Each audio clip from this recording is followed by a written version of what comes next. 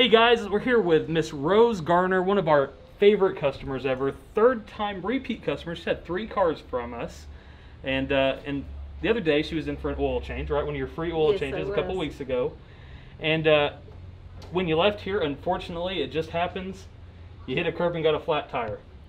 Yes, I did. You know, and this is one of those things. One of those. And uh, unfortunately, the small subcompact car that you came, that you bought didn't come with a spare tire, so you were just dead in the water, stranded, right?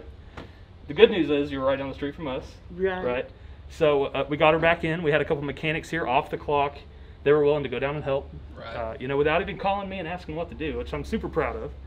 Another mechanic, uh, since her car didn't come with a spare tire, he has a little car like yours, and he took the spare tire out of the back of his car to put on your car to help you get home. Guys, that's an, if you got a name like Integrity on the sign, you got to live up to it, right? That's right. All right, and, and you're like family, and we're gonna fix your car for you, get you back on the road. What, what do you think? I love it here. The people, you guys are just so wonderful, and you you do help me when I need the help. That's what it's all about, right? With a name like Integrity, you got to stand up to it, guys. Who's got your back? Integrity. That's right. Jeremy, thank you so much for helping oh, our Oh customers yeah, out. absolutely. It was such a pleasure. I love Miss Rose. Like you said, she's absolutely our family. She's not a customer. She's family, and we always help our family. That's right.